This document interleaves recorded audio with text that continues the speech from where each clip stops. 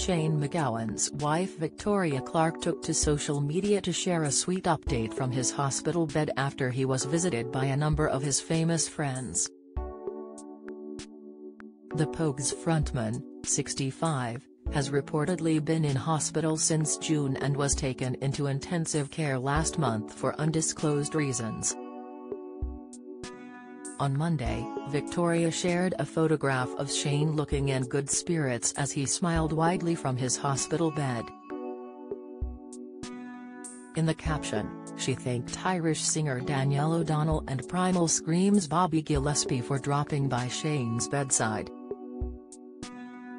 She wrote, Thank you hashtag Daniel O'Donnell and at Scream official Bobby G for visiting at Shane MacGowan.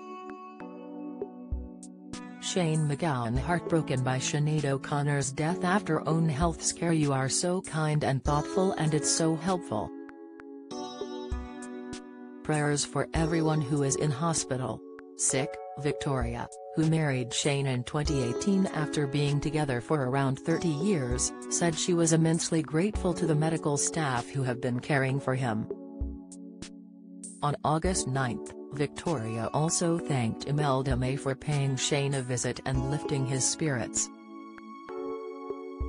She tweeted, Thank you so much to the beautiful at Imelda official for cheering up Shane MacGowan and giving us a sneak preview of your show about Kathleen Behan at the 3 Olympia Theatre, along with love heart emojis and a thumbs up. Don't miss.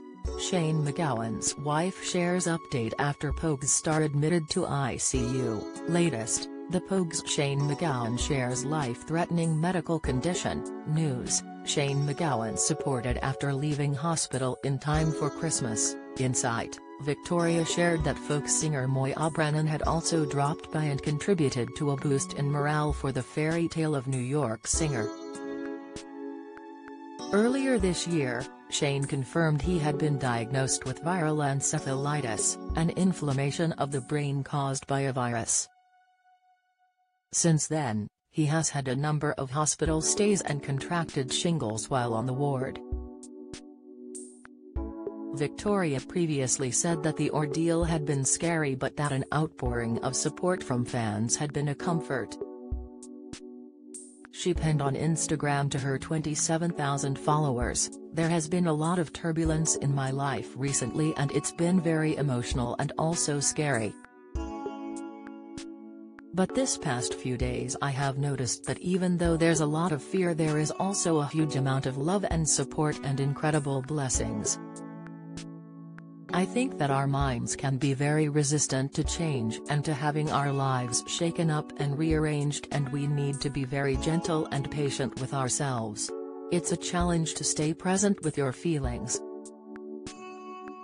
Thank you to everyone who has been supporting me and at Shane MacGowan Official.